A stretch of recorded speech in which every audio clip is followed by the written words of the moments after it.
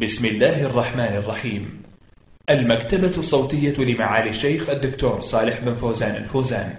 شرح كتاب عمدة الفقه للفقيه ابن قدامة المقدسي رحمه الله. الدرس التاسع والخمسون. بسم الله الرحمن الرحيم.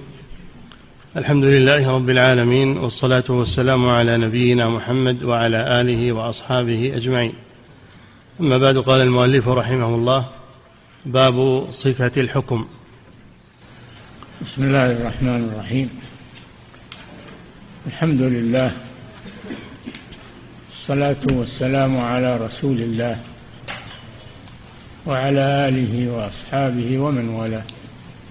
وصل المؤلف رحمه الله في كتاب القضاء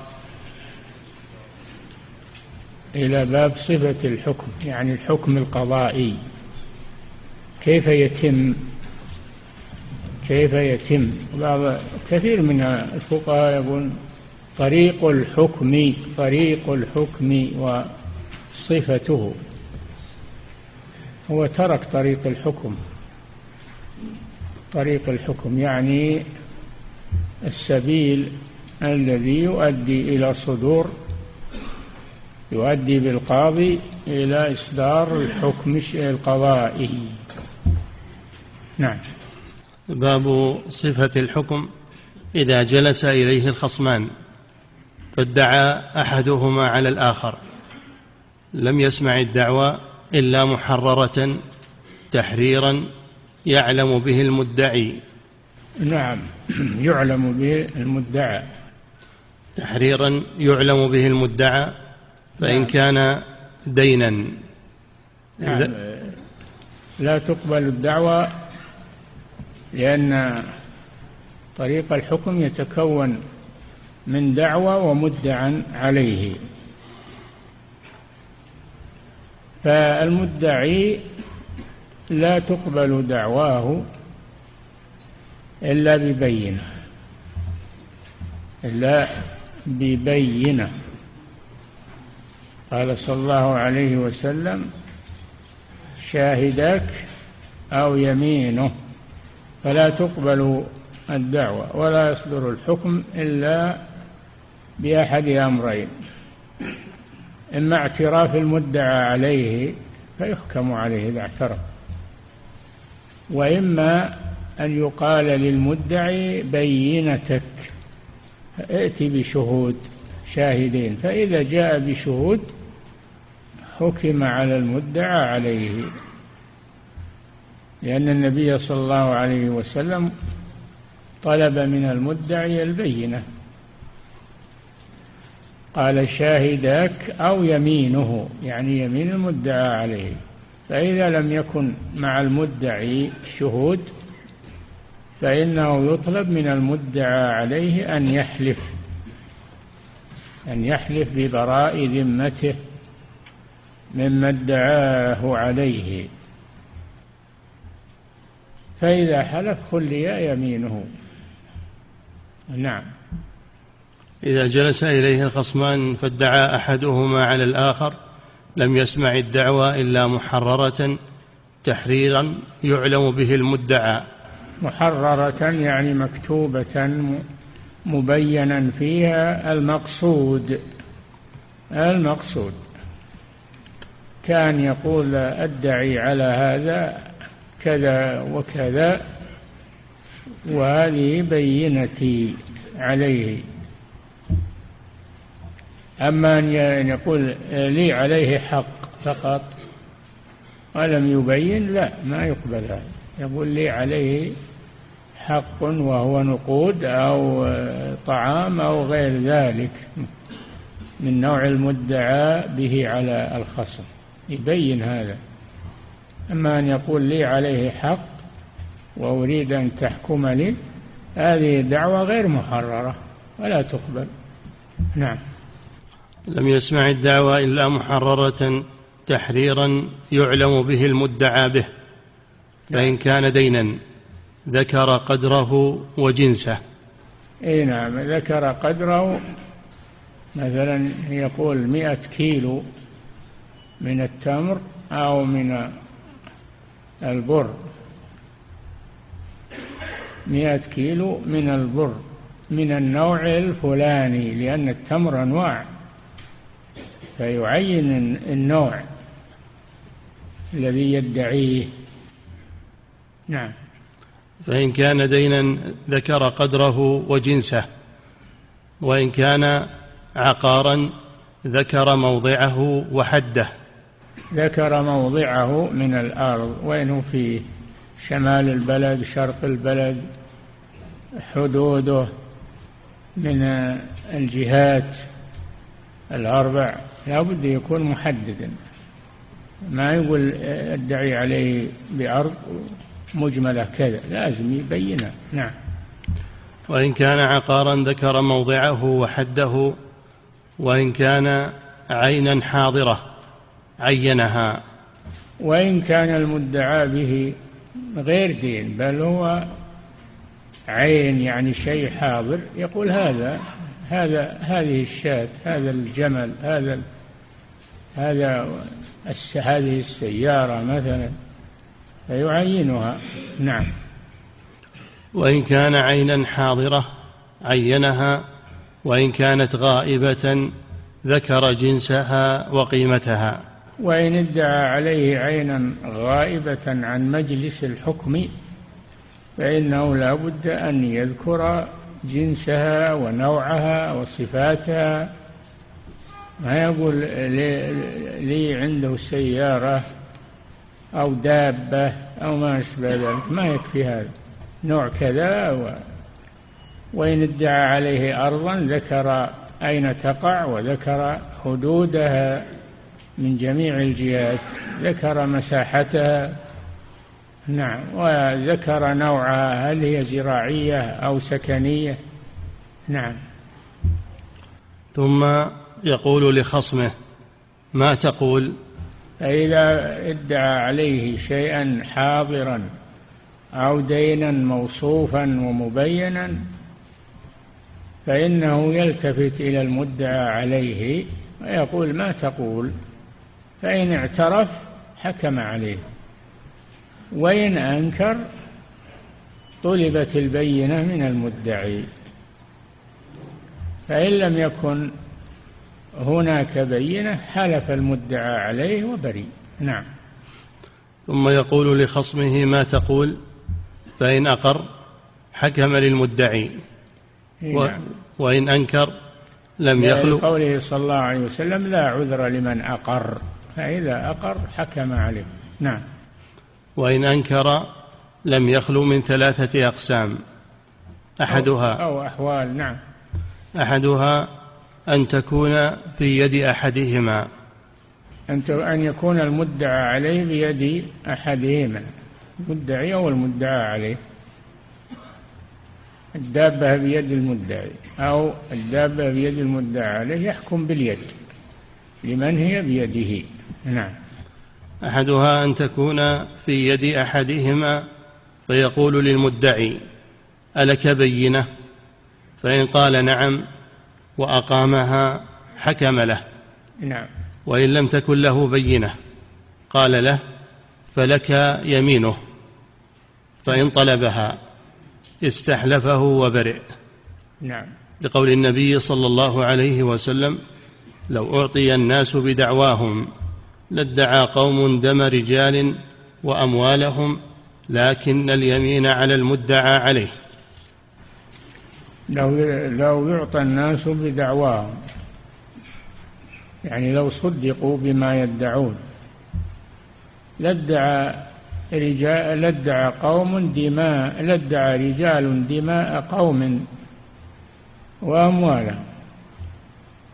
ولكن البينة على المدعي واليمين على من أنكر. أو البينة على المدعي واليمين على المدعى عليه. نعم. وهذا واضح جدا. الحمد لله. القاضي براحة. في راحة.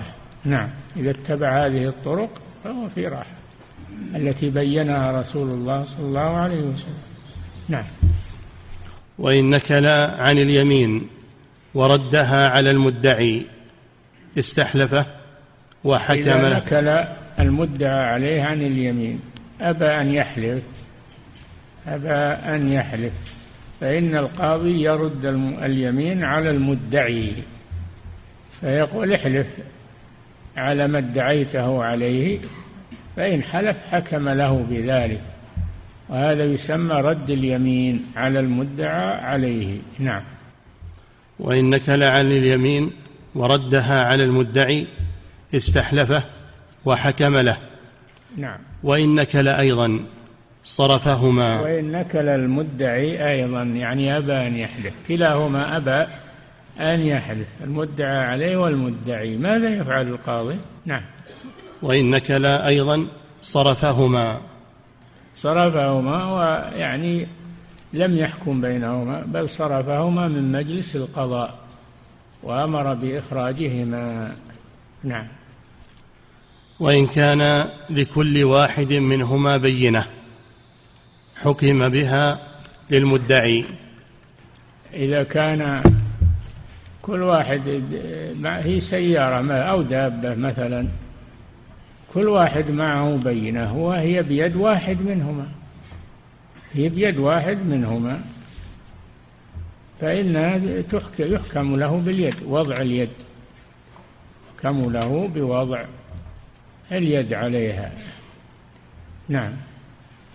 وإن أقر صاحب اليد لغيره صار المقر له الخصم فيها. وإذا كانت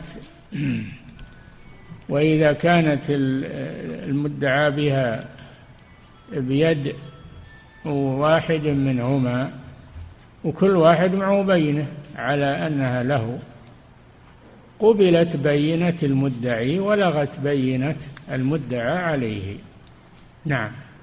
وإن أقر صاحب اليد لغيره صار المقر له الخصم فيها وقام مقام صاحب اليد فيما ذكرنا. وإن؟ وإن أقر صاحب اليد لغيره صار المقر له. وإن أقر صاحب اليد اللي هي بيده أنها لغيره. قال هي بيدي صحيح لكنها ما هي بلي. إيه، نعم. وإن أقر صاحب اليد لغيره صار المقر له الخصم فيها وقام صار المقر له. إذا قال أنه لفلان يجاب فلان وصار هو الخصم. يقيم البينة أو أنه تؤخذ اليمين من المدعى عليه ويبرأ. نعم. وإن أقر صاحب اليد لغيره صار المقر له الخصم فيها وقام مقام صاحب اليد فيما ذكرنا. نعم. الثاني أن تكون في يديهما. أي نعم تكون في يديهما. في يدي المدعي والمدعى عليه. كلهم هي بيديهما بحوزتهما. نعم. أن تكون في يد وقام كل منهما بينة. كل منهما بينة. قبلت بينة آه قبلت بينة الخارج ولغت بينة الداخل. نعم. أن تكون في يديهما فإن كان لأحدهما بينة حكم له بها. نعم. وإن لم تكن لواحد منهما بينة أو لهما بينتان. نعم. قسمت بينهما وحلف كل واحد منهما على النصف المحكوم له به. هذا قول في المذهب وإلا الذي في متن الزاد أن إذا كان مع واحد منهما بينة فإنه يحكم له. إذا كانت بيده معه بينة يحكم له بها. وتلغو بينة الخارج. نعم. وإن ادعاها أحدهما وادعى الآخر نصفها ولا بينة قسمت بينهما واليمين على مدعي النصف. نعم. وإن كانت لهما بينتان حكم بها لمدعي الكل. نعم. الثالث أن تكون في يد غيرهما فإن أقر بها لأحدهما أو لغيرهما صار المقر له كصاحب اليد. نعم وإن كانت بيد واحد ثالث لا هي بيد المدعي ولا المدعى عليه وإنما هي بيد واحد ثالث. نعم الحكم. أن تكون في يد غيرهما فإن أقر بها لأحدهما. إن أقر من هي بيده أنها لفلان. نعم. أو لغيرهما.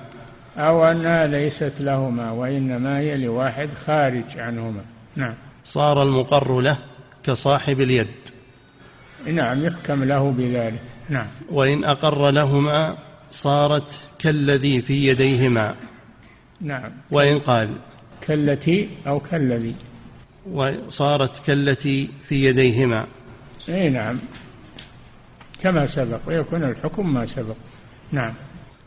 وإن قال لا أعرف صاحبها منهما. يعني اللي هي بيده غير المدعي والمدعى عليه. قال له من هي له هذه؟ قال له ما أعرف صاحبها. نعم. وإن قال لا أعرف صاحبها منهما ولأحدهما بينة فهي له. أي نعم تعطى لمن بيده بينة عليها. نعم. وإن لم تكن لهما بينة أو لكل واحد بينة استهما على اليمين فمن خرج سهمه حلف وأخذها. استهم يعني اقترع. الاستهام هو الاقتراع. فساهم يونس عليه السلام فساهم يعني اقترع. فكان من المدحضين وقعت عليه القرعة فألقي في البحر عليه الصلاة والسلام.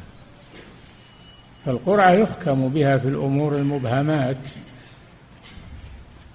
ويستخرج بها الحق. وقد استعملها النبي صلى الله عليه وسلم. نعم. استهم على اليمين فمن خرج سهمه حلف وأخذها.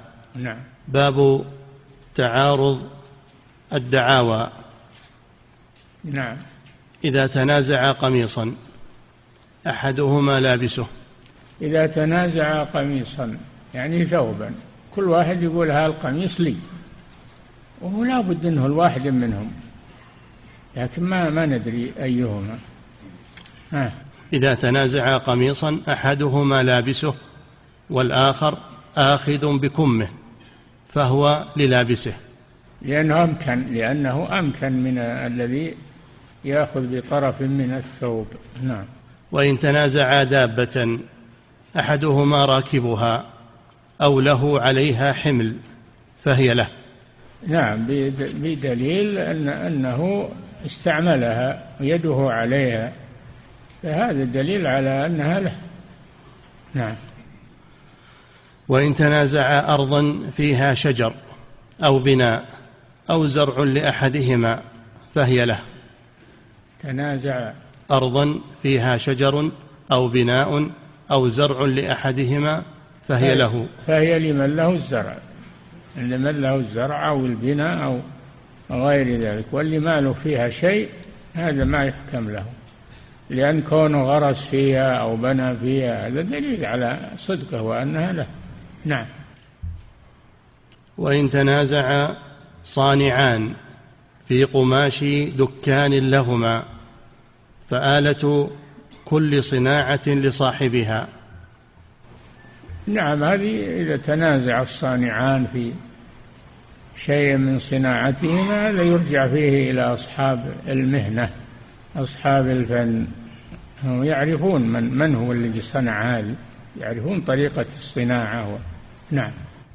وإن تنازع الزوجان في قماش البيت فللرجل ما يصلح للرجال وللمرأة ما يصلح للنساء وما يصلح لهما فهو بينهما. إذا افترق الزوجان والبيت فيه أثاث فيه أثاث.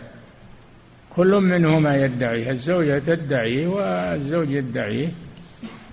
فإنه يعطى المرأة تعطى المرأة ما يليق بها ويعطى الرجل ما يليق به. نعم. فللرجل ما يصلح للرجال وللمرأة ما يصلح للنساء وما يصلح لهما فهو بينهما.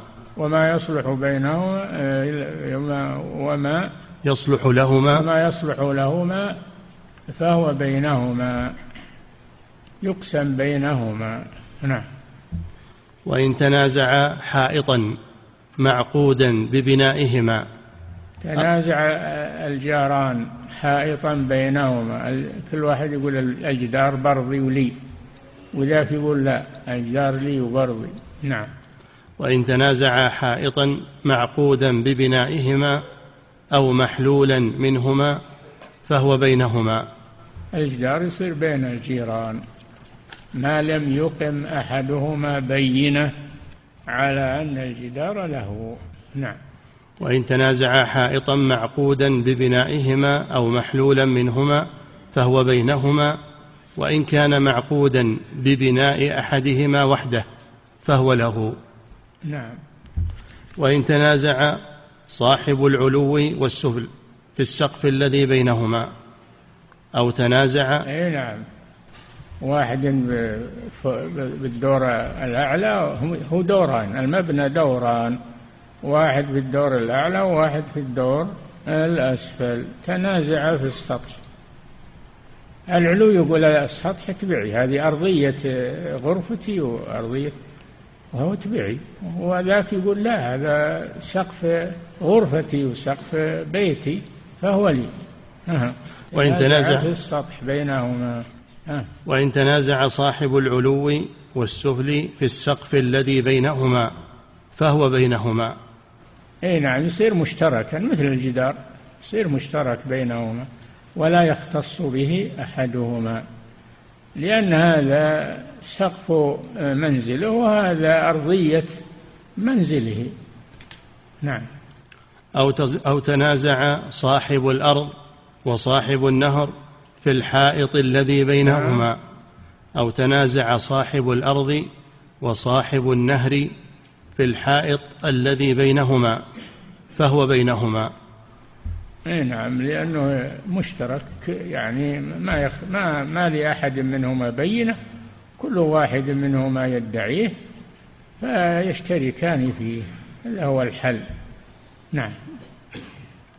وإن تنازعا قميصا أحدهما آخذ بكمه وباقيه مع الآخر فهو بينهما.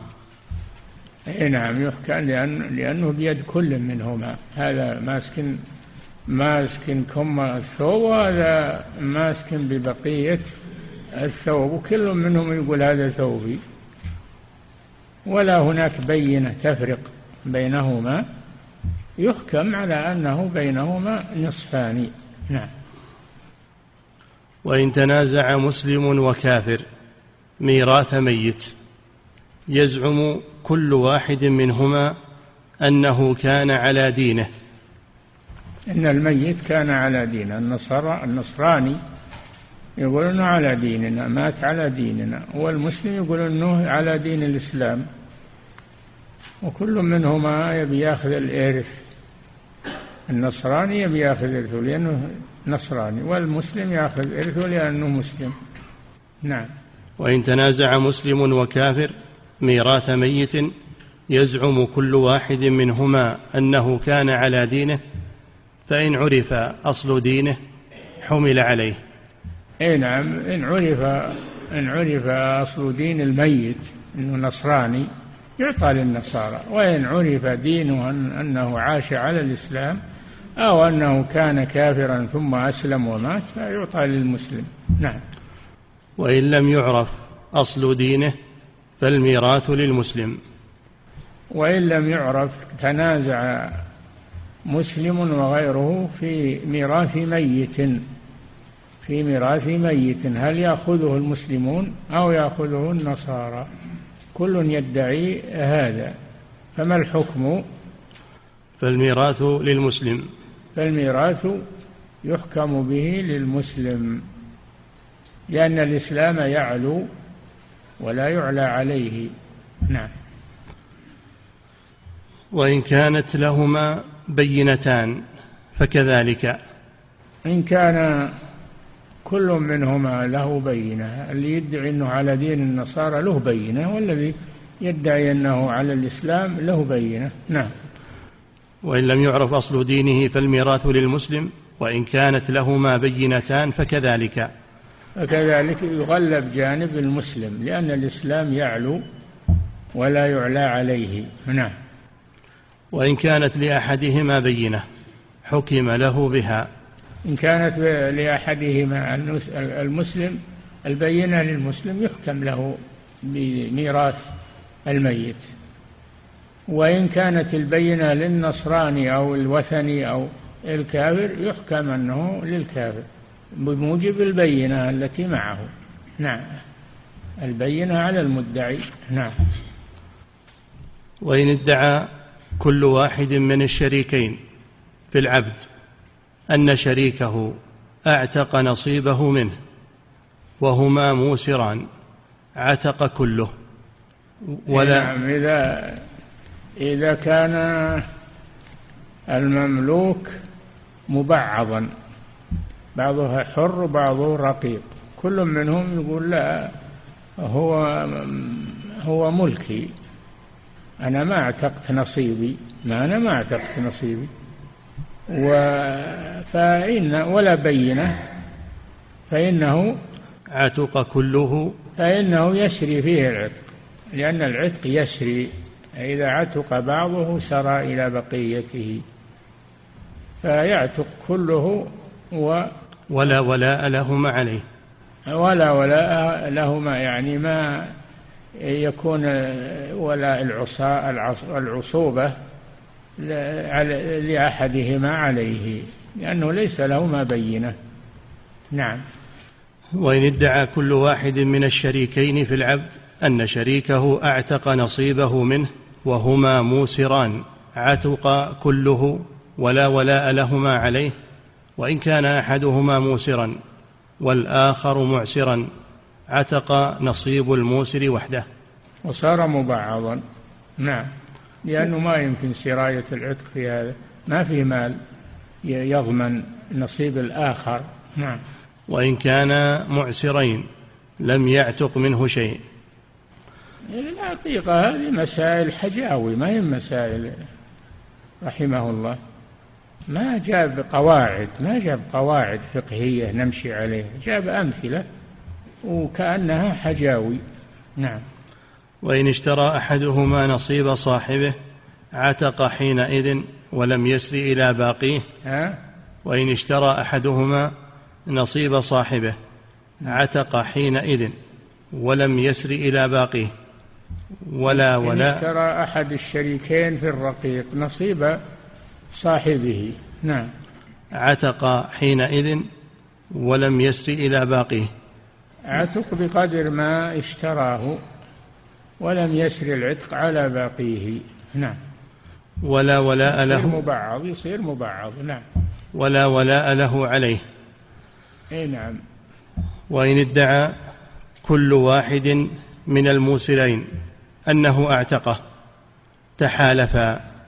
وكان ولاؤه بينهما. إيه وبعدين هذه مسائل حجاوي ما ما هي قواعد فقهية. نعم. وإن قال رجل لعبده إن برئت من مرضي هذا فأنت حر. أو يعني علق العتق على برئه.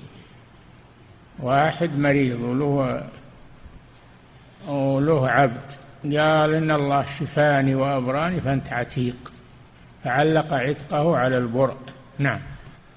أو إن قتلت فأنت حر. نعم. علق علق عتقه على القتل. وحصل القتل. إذا حصل المشروط إذا حصل الشرط حصل المشروط. نعم. وإن قال رجل لعبده إن برئت من مرضي هذا فأنت حر أو إن قتلت فأنت حر فادعى العبد.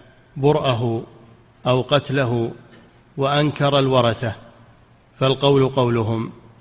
لأن الأصل عدم البرء وعدم القتل. نعم. وإن أقام كل واحد منهم بينة بقوله عتق العبد لأن بينته تشهد بزيادة. نعم. ولو مات رجل وخلف ابنين شوف لنا الباب اللي بعده. باب هذه حجاوي كلها ما ما تمسكنا شيء. نعم. باب حكم كتاب القاضي. أي كتاب القاضي إلى القاضي. مثلا قاضي في القصيم عرضت عليه القضية قضية في الرياض.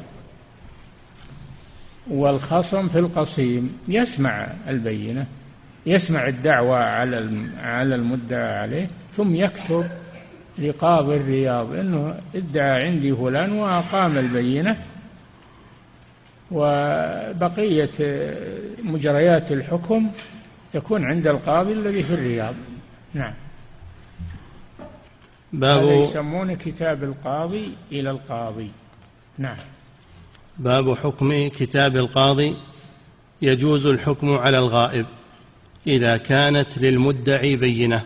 يجوز الحكم على الغائب إذا تعذر إحضاره إذا ادعى على شخص غائب قيل له أحضره قيل له أحضر خصمك ولم يستطع ذلك لم يستطع ذلك. فإنه إيه؟ يجوز الحكم على الغائب يحكم على الغائب. يحكم على الغائب والغائب على حجته إذا قدم من مغيبه فهو على حجته له أن يوافق أو ينفي. نعم.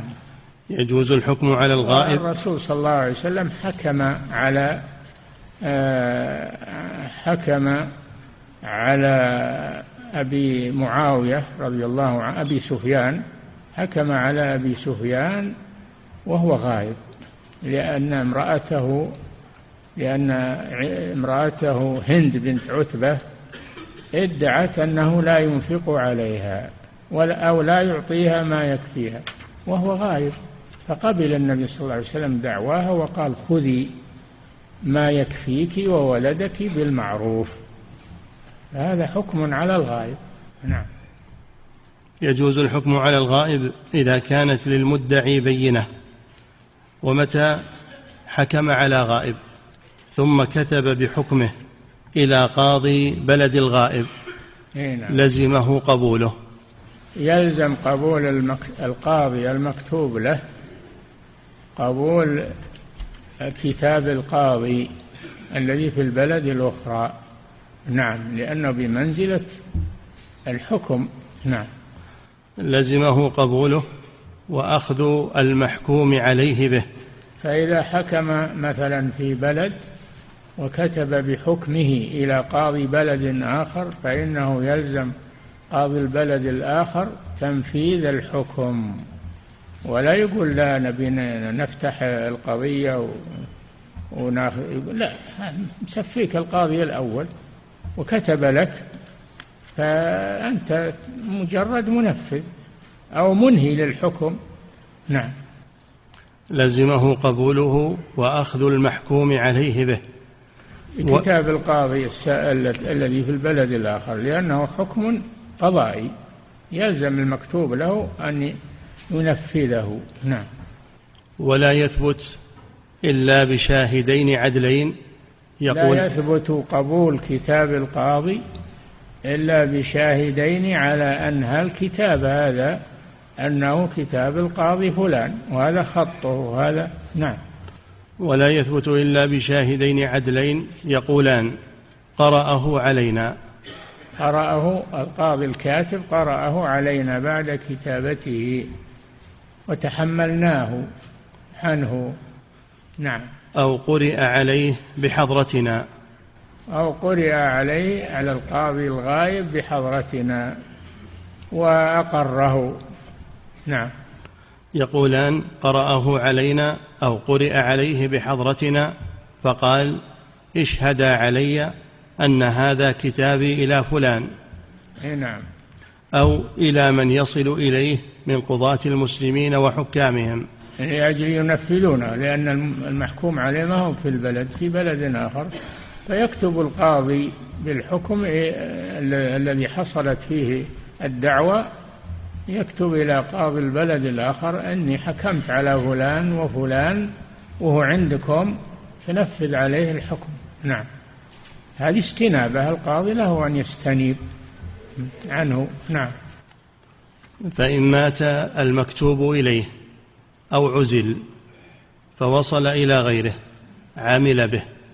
لو أن زال القاضي المكتوب إليه بموت أو عزل فإن البديل الذي يأتي بعده يقوم مقامه. نعم. فإن مات المكتوب إليه أو عزل فوصل إلى غيره عمل به. وإن مات الكاتب أو عزل بعد حكمه جاز قبول كتابه. نعم لأنه حكم قضائي ما ما يلغى. نعم. ويقبل كتاب القاضي في كل حق إلا الحدود والقصاص. يقبل في سائر الحقوق. كتاب القاضي إلى القاضي الآخر يكتب في سائر الحقوق يقبل في سائر الحقوق. إلا القصاص والحدود فلا يقبل. ما يقبل لأن هذا فيه قتل وفيه إقامة حد فلا بد أن تعاد القضية في البلد الذي فيه فيه التنفيذ مثلا. تعاد القضية. ما يكفي فيها أنه يبني على حكم قاض غائب لأن يعني هذا خطير يعني قتل أو قطع يد أو ما أشبه ذلك. تعاد الحكومة في البلد. نعم. ويقبل كتاب القاضي في كل حق إلا الحدود والقصاص. نعم. باب القسمة. باب القسمة. القسمة بين الشركاء. قسمة بين الشركاء كقسمة الأراضي وقسمة البيوت والمباني وقسمة المزارع. نعم. باب القسمة. وهذه و... من من الأحكام القضائية القسمة. نعم. وهي نوعان. قسمة نعم. إجبار. وهي قسمة ما يمكن قسمته من غير ضرر ولا رد عوض. نعم. إذا كان إذا قسمة القسمة على نوعان قسمة إجبار وقسمة تراضي. فقسمة الإجبار هي التي ليس فيها رد عوض من طرف إلى طرف لأنها متساوية. عرض كل سواء قسمت بين شريكين. وأما إذا كان في بعضها مباني أو زراعة أو شيء فهذه لا هذه ما يقبل فيها فيها رد عوض. هذه فيها رد عوض. لا بد من التراضي. ما هي قسمة إجبار؟ هذه تسمى قسمة تراضي. نعم. قسمة إجبار وهي قسمة ما يمكن قسمته من غير ضرر ولا رد عوض إذا طلب أحد الشريكين قسمه فأبى الآخر. أجبره الحاكم عليه. أجبره الحاكم على القسمة لأنه لأنه ما يضار الشريك الآخر ويمنعه من من حقه والتصرف فيه بل يفرز حق كل منهما وكل يستلم نصيبه ويتصرف فيه ولا ضرر على الآخر. نعم. أجبره الحاكم عليه إذا ثبت عنده ملكهما ببينة. إذا ثبت ملكهما لهذه المتنازع فيها وأما إذا لم يثبت فلا يقبل دعوى من ادعى إلا ببينة. نعم. فإن أجبره الحاكم عليه إذا ثبت عنده ملكهما ببينة فإن أقر به لم يجبر الممتنع الممتنع عليه. إذا كان فيها رد عوض ما هي متساوية الأرض. فيها رد عوض من طرف إلى الآخر هذه ما ما هي هذه تراضي لازم من التراضي لأن العوض هذا لازم يقبل بمثابة البيع فلازم يرضى الطرف الآخر بهذا. نعم. فإن أقر به لم يجبر الممتنع عليه وإن طلباها في هذه الحال قسم بينهما. نعم. وأثبت في القضية أن قسمه كان عن إقرارهما لا ببينة. برضاهما يعني بذلك نعم. والثاني قسمة التراضي. نعم. وهي قسمة ما فيه ضرر بألا ينتفع أحدهما بنصيبه فيما هو له أو لا يمكن تعديله إلا برد عوض من أحدهما. وهذا يكون قسمة التراضي في الدور الضيقة والدكاكين الضيقة لازم يتراضيان على القسمة لأن هذا فيه ضرر على الطرف الآخر الذي لا يريد القسمة. نعم. والثاني قسمة التراضي وهي قسمة ما فيه ضرر بأن لا ينتفع أحدهما. ما فيه ضرر في قسمته ما فيه ضرر في قسمته على الآخر. ولا وإذا بقي ولم يقسم فإنه لا ضرر على أحدهما. نعم. والثاني قسمة التراضي وهي قسمة ما فيه ضرر بألا ينتفع أحدهما بنصيبه فيما هو له أو لا يمكن تعديله إلا برد عوض من أحدهما فلا إجبار فيها. هذا اختياري إذا رضي الطرف الآخر يقر وإذا لم يرضى تبقى مشتركة لهما. نعم. والقسمة إفراز حق. لا يستحق. هي إفراز النصيب. هي إفراز النصيب عن النصيب الآخر. نعم. والقسمة إفراز حق. وكان الواجب أن يأتي بتعريفها في أول الباب. ما يخلي التعريف يجي آخرا. نعم. والقسمة إفراز حق لا يستحق بها شفعة ولا يثبت فيها خيار. لأن ما هي بيع. إذا قسمت أرض بين شريكين باختيارهما ورضاهما فلا يشفع أحدهما ولا ولا فلا شفعة فيها. ما يجي شريك ثالث ويقول أنا بآخذ نصيب الذي خرج ولي الشفعة فيها. نقول لا هذه ما فيها شفعة. نعم. والقسمة وإفراز ما هي بيع هذه ما هي بيع. الشفعة إنما تكون في البيع. نعم. والقسمة وإفراز حق لا يستحق بها شفعة ولا يثبت فيها خيار. وليس فيها خيار المجلس إنما هي إلزام. نعم. إذا تفرق لزمت. نعم. وتجوز في المكيل وزنا وفي الموزون كيلا وفي الثمار خرصا. هذا سهل المكيل والموزون هذا يكال. نصيب كل واحد منهما. بالمكيال. نعم وهذا ما فيه إشكال لأنه يفرز بالمكيال أو بالميزان ولا ولا إشكال فيه. النوع الثاني في الثمار خرصا. الثمرة في, في النخيل مشتركة. تبي تقسم كيف تقسم؟ بالخرص. إجاب ناس من أهل الخبرة يقدرون. ثمر النخل هذا كم كم هو في الميزان أو في المكيل؟ ويقبل قوله ما في ذلك. تقسم ثمرة في رؤوس النخل تقسم بين الشركاء بمعرفة أهل الخبرة. نعم. وتجوز قسمة الوقف إذا لم يكن فيها رد عوض. الوقف؟ نعم. إذا لم يكن في قسمته رد عوض لأن إذا صار فيها رد عوض صار حكم البيع والوقف لا يجوز بيعه. نعم. وتجوز قسمة الوقف إذا لم يكن فيها رد عوض فإن كان يعني بعضه تجوز قسمة الوقف إذا كانت قسمة إذا كانت قسمة إجبار لا ضرر فيها على الطرف الآخر. هذه إجبار لأن ما على أحد منهم ضرر. وأما إذا كان فيها تراضي من رد عوض فهذه لا ما يقسم الوقف. نعم.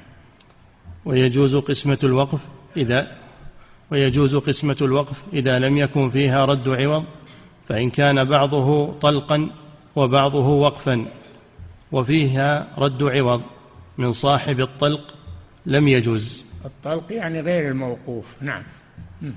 وفيها رد عوض من صاحب الطلق لم يجز وإن كان من رب الوقف جاز. نعم. وإن وإذا عدلت الأجزاء أقرع عليها. فمن خرج إذا, إذا مثلا قسمت الأرض قسمت الأرض وأفرز نصيب كل واحد فإنه لا يكفي هذا لا بد من القرعة. فتوضع مثلا توضع أسماء الشركاء في يد واحد ولا يدرون عنها الآخرون توضع مكتوبة أسماء الشركاء لأن كل واحد يبي القطعة الفلانية. وش اللي ينهي خصومتهما؟ القرعة. بأن تكتب أسماءهما خفية وتعطى واحد تعطى واحد ثم يقال ضع أسماءهم على القطع هذه. فمن وضع اسمه على قطعة صارت له. نعم. لأن القرعة فيها فيها إرضاء للطرفين أو للأطراف. نعم. لأن ما فيها حيف ولا فيها آه يعني اتهام. نعم. وإذا عدلت الأجزاء أقرع عليها فمن خرج سهمه على شيء صار له ولزم بذلك. يعني إذا مثلا الأرض أفرز نصيب الشركاء فيها وكل واحد يبي الجهة لي والواحد لا يبي الجهة الثانية وش اللي يخلصهم؟ القرعة تكتب اسمائهم تعطى واحد ما يدري عن الموضوع ثم يقال له ضع هذه الأسماء على هذه القطع هو ما يدري عنه. أما إن كان يدري لا يخشى أنه يحيف. يجي واحد ويأخذ هذه الأسماء ويضعها على هذه القطع من خرج اسمه على قطعة فهي له. ولا نزاع ولا شيء. نعم. فمن خرج سهمه على شيء صار له ولزم بذلك. نعم. ويجب أن يعني يكون يلزم الأخذ بالقرعة. ولا يقول أنا ما رضيت أنا ما نعم. ويجب أن يكون قاسم الحاكم عدلا. وكذلك الحاكم ما هو اللي يروح يقسم لكن يشكل لجنة أو شخص من أهل المعرفة هو اللي يروح يقسم نيابة عن الحاكم. نعم.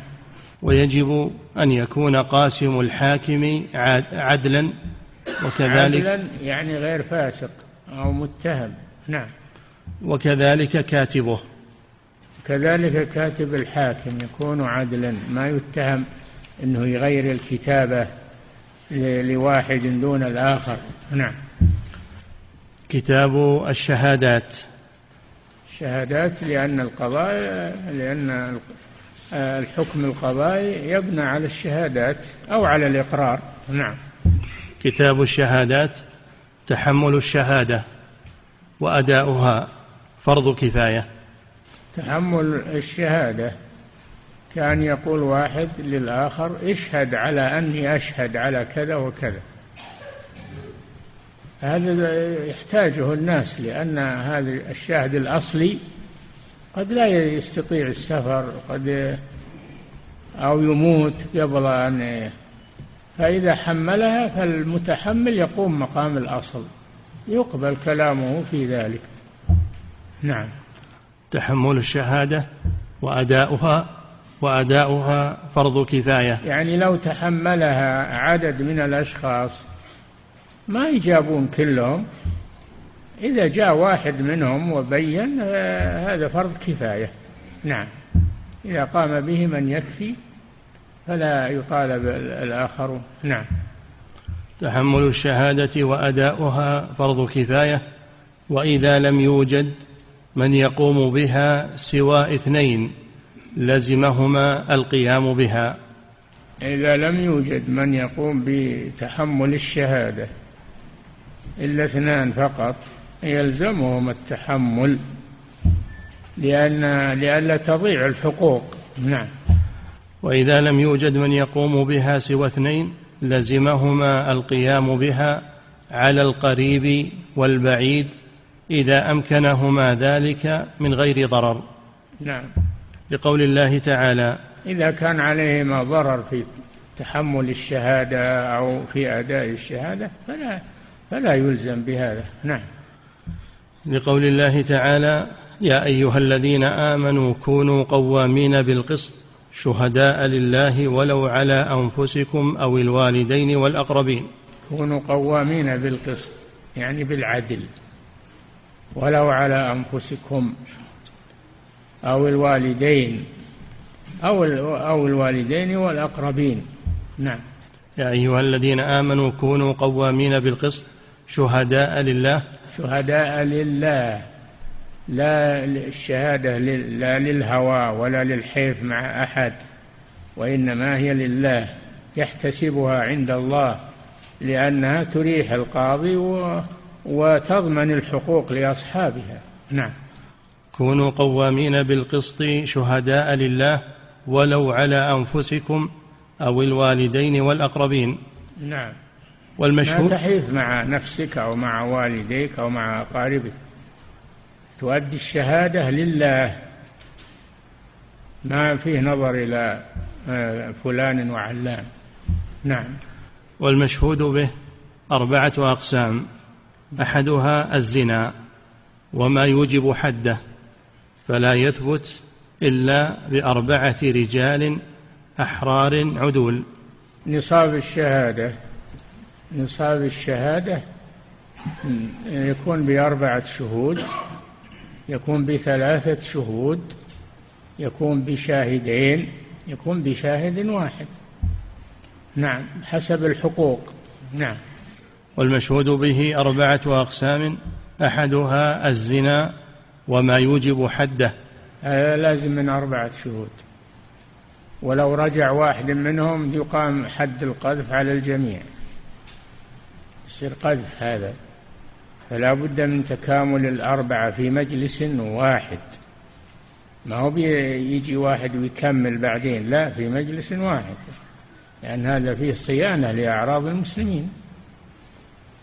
نعم. لولا جاءوا عليه يعني الإفك جاءوا عليه بأربعة شهداء. فإذ لم يأتوا بالشهداء فأولئك عند الله هم الكاذبون. نعم.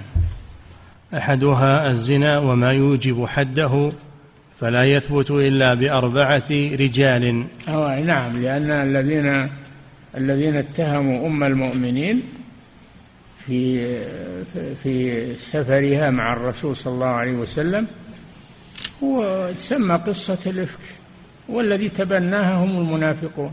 أما أهل الإيمان ما عندهم شك في هذا ما عندهم شك في براءة أم المؤمنين. إنما استغل المنافقون هذه القضية والقضية أنها رضي الله عنها ذهبت لتقضي حاجتها. ذهبت لتقضي حاجتها بالليل. فلما رجعت وجدت القوم قد رحلوا. يحسبونها أنها في الهودج شالوا الهودج وثبتوها على الرأس لأنها خفيفة ما فظنوا أنها في الهودج. فلما جاءت ووجدتهم ذهبوا من ذكائها وحذقها أن ما خبطت وراحت هنا وهنا بل بقيت في المكان. لأنها تعلم أنه سيأتي آه، قومها إلى هذا المكان. يرجعون إذا فقدوها. فلو أنها راحت عنه هنا ولا هنا ضاعت. فبقيت في المكان. حتى جاء رجل من الصحابة ومن فضلائهم كان خلف الركب. كان نزل خلف الركب ونام لأنه يغلبه النوم فنام. فلما جاء يبي يلحق بالقوم شاف السواد في قال هذا وش هالسواد هذا؟ راح يشوف ما هو فاستيقظت أم المؤمنين وغطت وجهها. فقال إنا لله وإنا إليه راجعون. فأبرك الراحلة ووطئ على على يدها حتى ركبت أم المؤمنين وذهب يقود بها. صفوان بن المعطل رضي الله عنه ذهب يقود فلما نزلوا في القيلولة وصل صفوان بأم المؤمنين. فرح المنافقون بهذا قالوا مواعدته وإيه بينه وبينه موعد وكذا وكذا. وحصل على الرسول صلى الله عليه وسلم من هذا شدة. بسبب هؤلاء المنافقين. ولا هو يعلم براءة أم المؤمنين. نعم. أحدها الزنا وما يوجب حده فلا يثبت إلا بأربعة رجال. لولا جاءوا عليه بأربعة شهداء. نعم. أربعة رجال أحرار. رجال ما فيهم نساء. وأحرار ما فيهم مملوك. نعم. عدول. عدول ما فيهم فاسق. نعم. الثاني المال وما يقصد به. أما المال وما يقصد به فيقبل فيه رجلان أو رجل وامرأتان ممن ترضون من الشهداء. نعم. أما بقية الحقوق فلا تقبل فيها النساء شهادة النساء. لا تقبل شهادة النساء على السرقة لا تقبل شهادة النساء على الزنا لا تقبل. نعم. الثاني المال وما يقصد به فيثبت بشاهدين وبرجل وامرأتين. نعم. وبرجل وأش... نعم. إذا تبايعتم إذا تداينتم بدين إلى أجل إلى أجل مسمى فاكتبوه. فاكتبوه. ثم قال هذا توثيق. هذا توثيق نوع من التوثيق. ثم قال واستشهدوا شهيدين من رجالكم هذا التوثيق ثاني زيادة. فإن لم يكونا رجلان فرجل وامرأتان ممن ترضون من الشهداء. هذا في الأموال وما يقصد به المال. نعم. وأما الحدود وأما التعازير وأما ما تقبل فيها شهادة النساء. نعم. المال وما يقصد به فيثبت بشاهدين وبرجل وامرأتين وبرجل مع يمين الطالب. نعم. وبرجل مع يمين الطالب الثالث ما عدا هذين مما يطلع عليه الرجال فلا يثبت إلا بشهادة رجلين. نعم أما ما ليس بمال ولا مما يقصد به المال من الحدود والتعازير و فلا يقبل فيها شهادة النساء. نعم. فلا يثبت إلا بشهادة رجلين الرابع ما لا يطلع عليه الرجال كالولادة والحيض والعدة. أمور النساء الخفية تقبل فيها شهادة امرأة. تقبل فيها شهادة امرأة. تطلع على المرأة وعلى حالتها الخفية. نعم لأن الرجل ما يطلع على هذا. نعم. الرابع ما لا يطلع عليه الرجال كالولادة والحيض. الولادة بأن تشهد القابلة أن فلانة ولدت هذا الطفل إذا حصل فيه اشتباه. فتقبل شهادة القابلة امرأة واحدة لأن هذا مما لا يطلع عليه إلا النساء. والعادة أن القابلة الواحدة تكفي ما يروحون يجيبون عدة قوابل لامرأة واحدة. نعم. كالولادة والحيض. كالولادة. والحيض. والحيض إذا إذا ادعت أنها أنها حاضت من أجل أن تخرج من العدة من أجل أن تخرج من العدة وأنكر الزوج أو ما أشبه ذلك حينئذ يقبل شهادة المرأة أنها قد حاضت الحيضة الثالثة أو الرابعة. نعم. كالولادة والحيض والعدة. والعدة إذا ادعت المرأة أنها انقضت عدتها ما نقول هاتي بينه هي أدرى بنفسها. فإذا ادعت أنها انقضت عدتها يقبل قولها في ذلك لأن هذا لا يعرفه إلا هي. نعم. والعيوب تحت الثياب. والعيوب التي تحت الثياب في المرأة عيوب كالرتق والقرن والعفل وما أشبه ذلك في الفرج. هذه لا يقبل فيها المرأة الواحدة. نعم. فيثبت بشهادة امرأة عدل. إي نعم.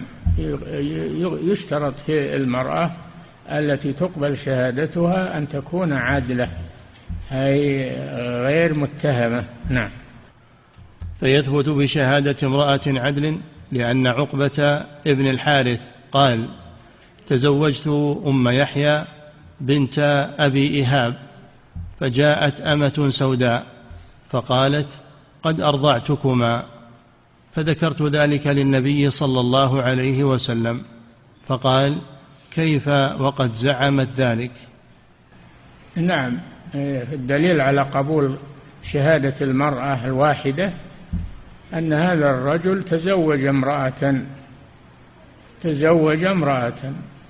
ثم جاءت أمة سوداء وقالت قد أرضعتكما يعني فأنتما أخوان من الرضاع. ذهب الرجل إلى الرسول صلى الله عليه وسلم أخبره قال كيف وقد قيل؟ فتركها الرجل. نعم. فجاءت أمة سوداء فقالت قد أرضعتكما فذكر فذكرت ذلك للنبي صلى الله عليه وسلم فقال كيف وقد زعمت ذلك؟ وتقبل شهادة الأمة. كيف؟ يعني كيف تبقى الزوجية وقد زعمت أنها أرضعتكما؟ ففارقها الرجل بأمر الرسول صلى الله عليه وسلم. نعم. وتقبل شهادة الأمة فيما يقبل فيه شهادة النساء للخبر. اي نعم لأنها امرأة تدخل نعم. وشهادة العبد في كل شيء إلا في الحدود والقصاص. شهادة المملوك تقبل في كل ما تقبل فيه شهادة الرجال إلا في الحدود كقطع اليد و والرجم ونعم إلا في الحدود والقصاص. والقصاص الذي هو قتل القاتل. هذا ما يثبت إلا بالرجال ما يثبت بالنساء. نعم. وتقبل شهادة الفاعل على فعله كالمرضعة على الرضاع. أي نعم المرضعة تقبل شيء. تقول إذا قالت أرضعت لأن الرسول قبلها.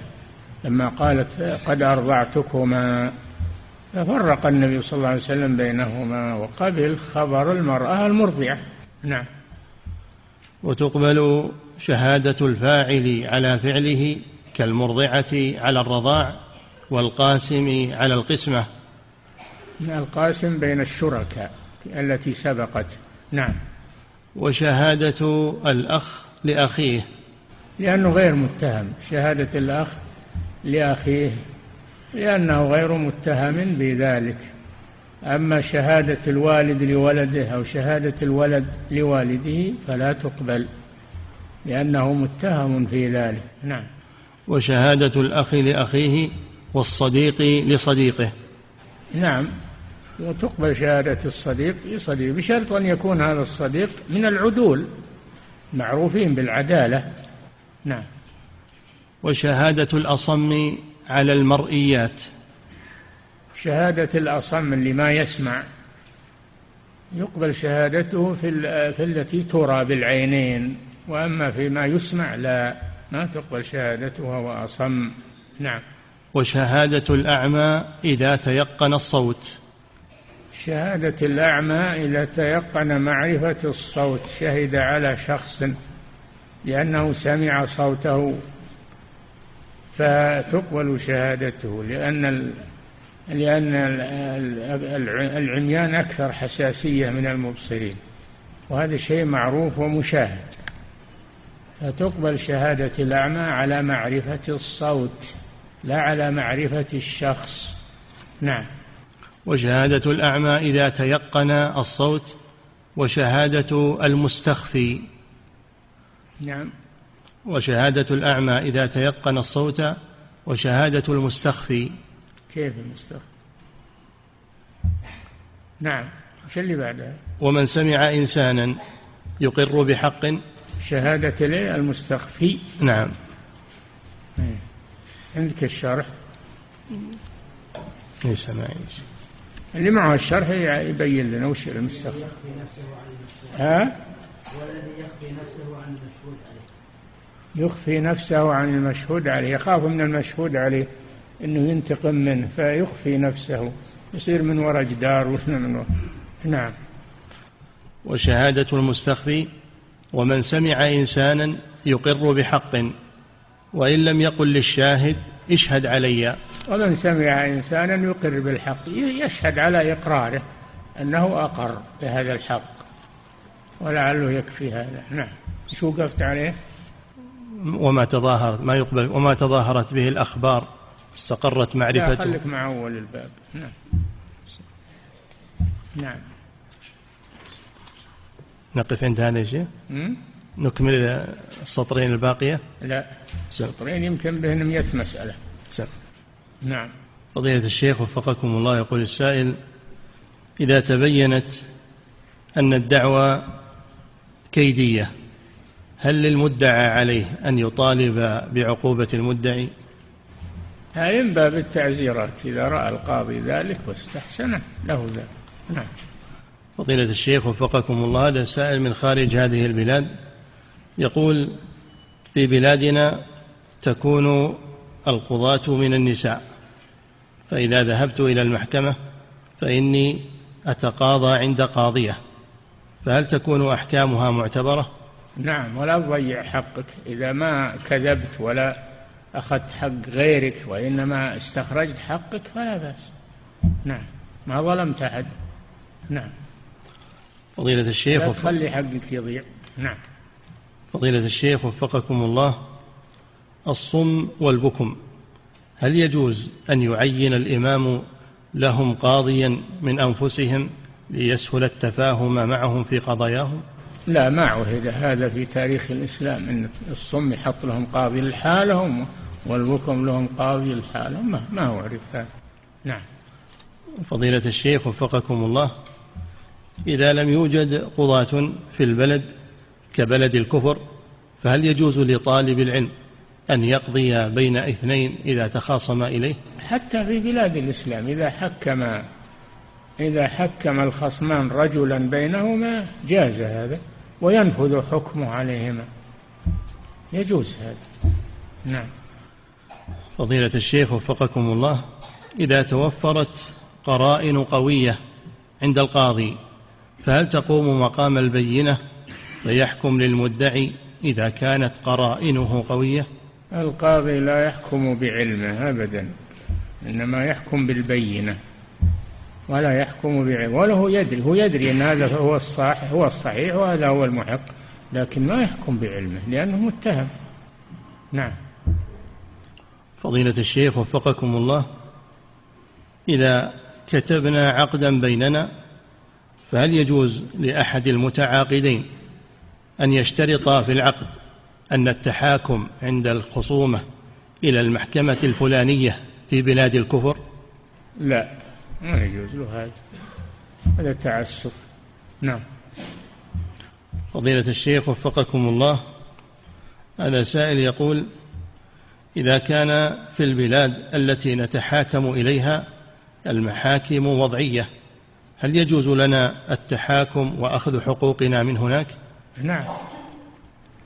ما إذا ما تأخذ إلا حقك ولا تظلم أحد فلا بأس.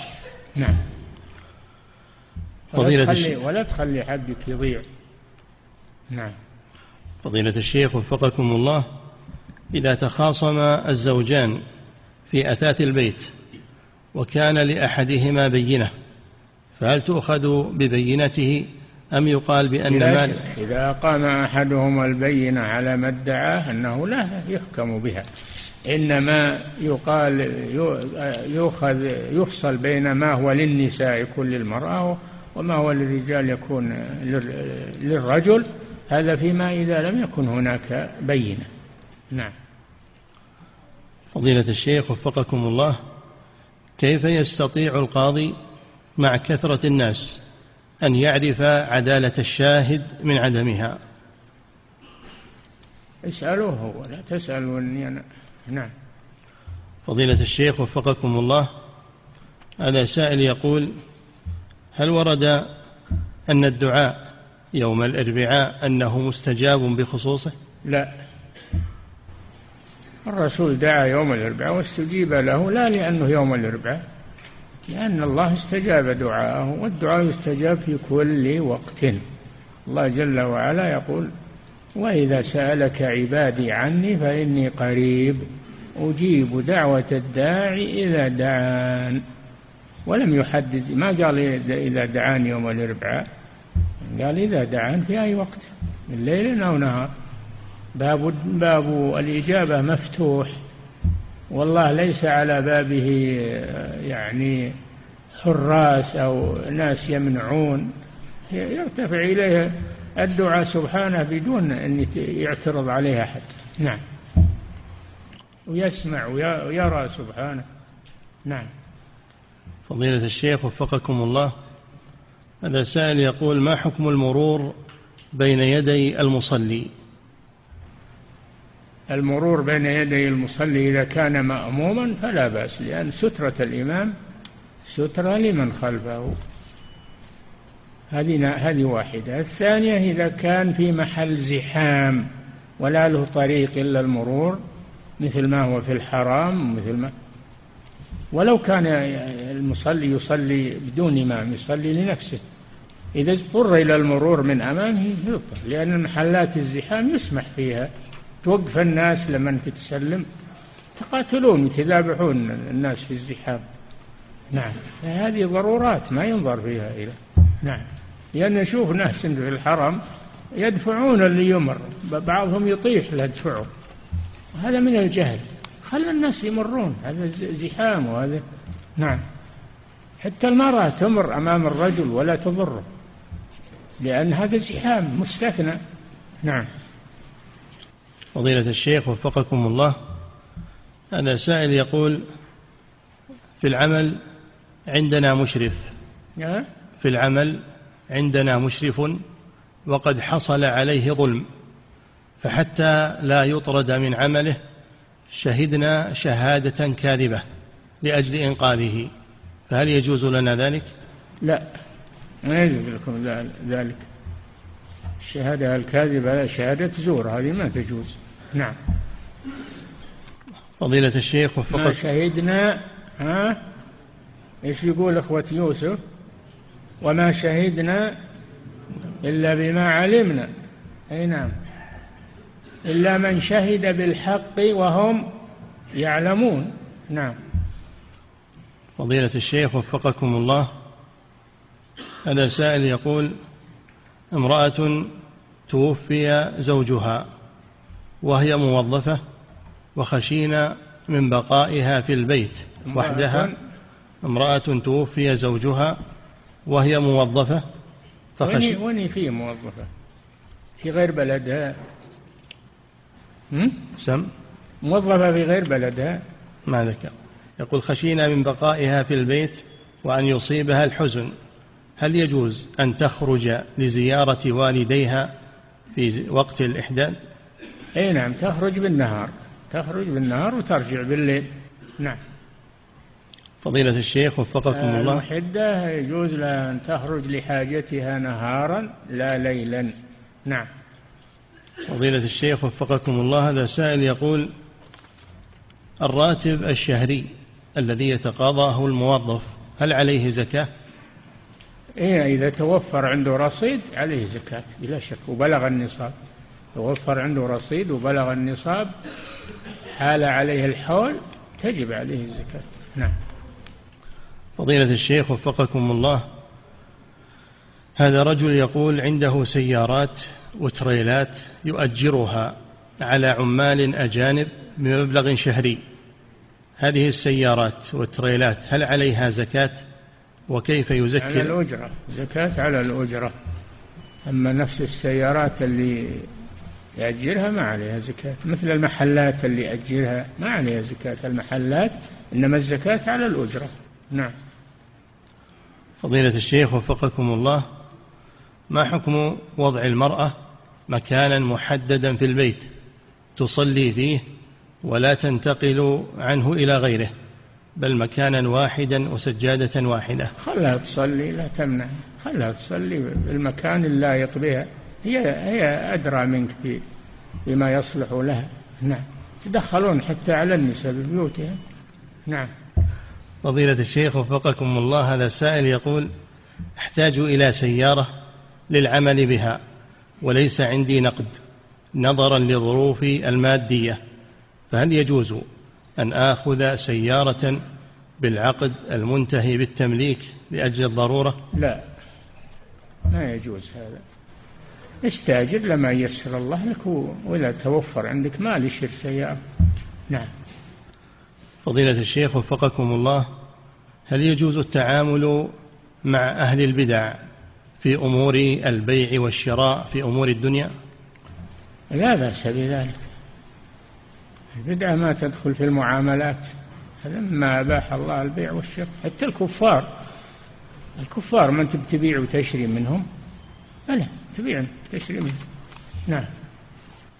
فضيلة الشيخ وفقكم الله هذه امرأة تسأل فتقول هل يجوز أن أعق عن أبنائي الأربعة؟ أن أعق عنهم بعجل بدلا من أن أعق عن كل واحد بغنم؟ أولا العقيقة على الوالد ما هي على الأم؟ على الوالد من حق الولد على والد على والده. ثانيا العجل إذا كان سنها لازم من السن ومثل الأضحية يكون سنها مثل سن الأضحية. البقرة لها سنتان. إذا كان له سنتان والمغ... وأيضا لا يكون فيها اشتراك إنما تكون عن واحد. البقرة وال... وال... والبدنة وك... إذا عق بها تكون عن واحد. ما هي ما هي مثل الأضحية البقرة عن سبع و... والبدنة عن سبع. لا إذا ذبحها عن واحد صارت كلها عنه ولا يكون فيها اشتراك. نعم.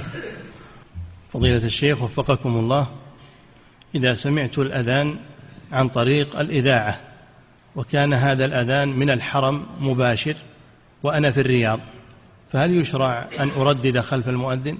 لا بأس يا أخي هذا ذكر لله عز وجل سواء من الحرم أو من غيره. نعم. فضيلة الشيخ وفقكم الله هل يجوز لصاحب العقار أن يؤجر محلاته التي يملكها على أصحاب منكرات كمحلات الغناء ومحلات الشيشة؟ هذا منصوص عليه ما يجوز. أي أنه يأجرها لمن يعمل فيها الخمر لمن يجعلها لأصحاب الفساد يجتمعون فيها هذا حرام ما يجوز. نعم. فضيلة الشيخ وفقكم الله إذا تذكر الإمام بعد شروعه في الصلاة أنه على غير وضوء وقد بدأ بقراءة الفاتحة. ينصرف. ينصرف وإما أن يخلي واحد يصلي بهم يبدأ الصلاة من جديد ينوب عنه ويبدأ الصلاة بهم من جديد وإما أن يقول انتظروا ويذهب ويتوضأ ويرجع إليه. يبدأ الصلاة بهم من جديد. نعم. فضيلة الشيخ وفقكم الله. الرسول صلى الله عليه وسلم لما جاء وقامت الصفوف قال انتظروا ثم خرج وتوضأ عليه الصلاة والسلام ثم عاد وصلى به. نعم. فضيلة الشيخ وفقكم الله. هذا سائل يقول بعض الناس لكن بعض الناس يستحي. يستحي ولا ويصلي بهم وهو على غير طهارة من أجل الحياة. هذا ما يجوز. حرام عليه يصلي بهم وهو على غير طهارة. الدين ما فيه محاباة ولا فيه مجاملة ولا فيه لا حياء في الدين. نعم. فضيلة الشيخ وفقكم الله هذا سائل يقول بعض الناس يعتمد على الرؤى في تحري ليلة القدر فهل هذا مشروع؟ لا. الرؤى ما يثبت فيها حكم شرعي.